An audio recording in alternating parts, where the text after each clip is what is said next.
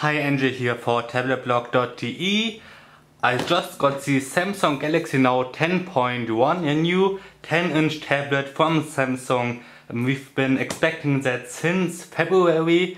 Samsung introduced it at the Mobile World Congress in Barcelona, um, but it changed it quite a bit since then. And yeah, now we want to unbox this little or big tablet. This is the Samsung Galaxy Note 10.1. Let's put it aside first and let's have a look at the content of this package. Here we have the uh, plug for the power,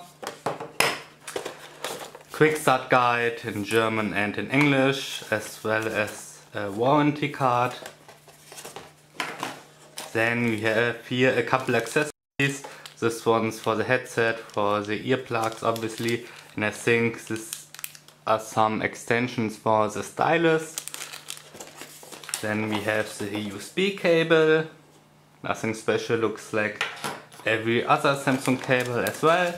And then we've got a headset here because you actually can make phone calls at least with the 3G version of the Galaxy Note 10.1 and at least with the German version I don't know if that will be available in the US at least the capability of phone calls. I think it wasn't I think with the US version of the first Galaxy Tab you couldn't make phone calls but with the European you certainly could but I'm not sure you have to look or ask your local dealer. Yes, this is the Samsung Galaxy Note 10.1. We have a 10.1 inch display resolution is 1280 by 800 Inside there's a 1.4 GHz quad-core processor, uh, 2 GB of uh, RAM and 16 GB of storage. And yeah, in this model there's also a 3G module inside, um, GPS, Bluetooth, Wi-Fi and so on. Let's quickly go around the device. We've got a 1.9 megapixel webcam here on the top, two speakers on the side. Samsung decided now to um, copy the look of the Galaxy Tab 10.1N which was introduced in Germany um, because of the lawsuits of Apple. So we have this um, silver uh, lining here around the device with the two speakers included. Here on the bottom we've got the pin connector for the USB cable. Then we have this nice stylus here. Um, it's not as thin as the 5 inch Galaxy Note um, the stylus and that's actually a good thing because it's much more comfortable to hold it in your hands. It just fits in nicely on the side here. Then nothing on the sides. Here we have a SIM card slot. I don't have a SIM. Um, I haven't put a SIM inside it yet. Then we have an audio port for the headset an infrared thingy here, micro SD card slot, rocker switch for the volume and the power button. On the back we have a 5 megapixel camera and an LED flash. Yeah, that's it. The um, Galaxy Note 10.1 is completely um, aus plastic and yeah, let's just turn it on. Hit the power button here on the top and then we have Android 4.0 ice cream sandwich. Let's unlock it. Um, the language is in German right now, but I think you can still see what happens on the screen. Um, yeah, this is the home screen. It comes with that. That is the TouchWiz UI on top of Ice Cream Sandwich. So there are a lot of apps pre-installed like Video Hub, Music Hub, Game Hub, Social Hub, all the hubs that Samsung has as well as a nice weather and time widgets, a couple of pre-installed apps like S-Note, um, Photoshop Touch, Smart Remote for this infrared sensor on the top, and yeah, the Samsung App Store, of course YouTube Dropbox, um, you get 5 gigabyte I think, um, storage included with this tablet, Polaris Office, ChatON um, as I said, the telephone app. I can't open it right now because then you would see all my contacts and their telephone numbers uh, and their phone numbers. I think not everybody would find it that good, at least the ones for my top uh, for my contacts. Okay, let's quickly check in the settings if it is really Android 4.0 ice cream sandwich and it is Android 4.0.4 and yeah here you can see again the TouchWiz UI Samsung has uh, changed quite a lot of the UI here. Let's just open the browser and quickly type something in. Tablet blog here we go. And it loads quite nicely. We can scroll through it even though I guess there's some flash thingy yeah it was flash that was loading here on the side um, the scrolling works very smooth as well as the multi-touch we have a 1.4 uh, gigahertz quad-core processor on side and 2, 2 gigabyte of memory so we couldn't expect less than a very smooth browsing experience.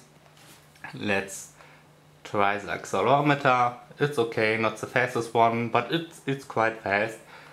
A lot of tablets are a lot slower while turning the tablet. That actually looks good. Yeah, another size, nice thing of the browser and a couple of other apps is this, it has Mehrfachbildschirm which is in German. I don't know which is um, what the US version will be saying, but it's probably multiple displays, multiple screens or something. If you hit that, then you can choose a couple of other apps. Um, let's just um, choose the email app maybe, and then you have actually real multitasking uh, two apps side by side. You can use both simultaneously. You can copy text from there to here and the other way around images and so on. And yeah, you actually have two apps sitting side by side. That is very nice. We haven't seen that in an Android tablet before. Even though Android has a couple of uh, multi-task capabilities, um, you weren't able to actually use two apps side by side before. Um, let's maybe change this one here. No, I have to close one first. Let's close this. And okay, I don't have the apps there yet. Let's quickly open the browser again so that we can hit this button. And maybe open the S-Note app. Then we can take a look at the stylus as well. Let's exit this memo this node and just open a new one. Here we have the stylus again. It's an active digitizer on top of the touchscreen so you can use a very precise stylus. Let's just open a new node. And yeah maybe if we have I don't know something open here and we want to take some notes you can do that you can have this Polaris Office a PowerPoint presentation or whatever open on the other side and on the same time you can take some nice notes. You can change the color and so on. That is very nice. You can also edit PDFs with this and um, a lot of other things. As far as I've seen, um, there is no handwriting recognition, so you can't write something and then it will transform it into normal text. That does not seem to be possible. Um, I think the Lenovo ThinkPad tablet was able to do that. The Galaxy Note 10.1 um, seems to be not. Okay, let's close this window here and let's exit the browser. Let's have a look at some other applications that are pre-installed um, yeah, it's an alarm clock, alarm clock and Crane Physics is a game that you can use with the stylus again. I think it was also pre-installed on the 5-inch Galaxy Note. Then we have of course all the Google apps, Polaris Office, as I said, Photoshop Touch is pre-installed, you don't have to buy it. And yeah, that's pretty much it. That is the Samsung Galaxy Note 10.1. It's a pretty nice tablet, actually feels good in the hand. It's not uh, too heavy and it's not thick at all, it's pretty thin. Um, that is the Samsung Galaxy Note 10.1. Have a look at this YouTube channel, stay tuned and you will see a lot of other videos with this tablet. We will have a closer look at the stylus and at the multi-screen capabilities and have a detailed walkthrough of all the pre-installed apps. This is the Samsung Galaxy Note 10 Part 1. Again, stay tuned. Thanks for watching.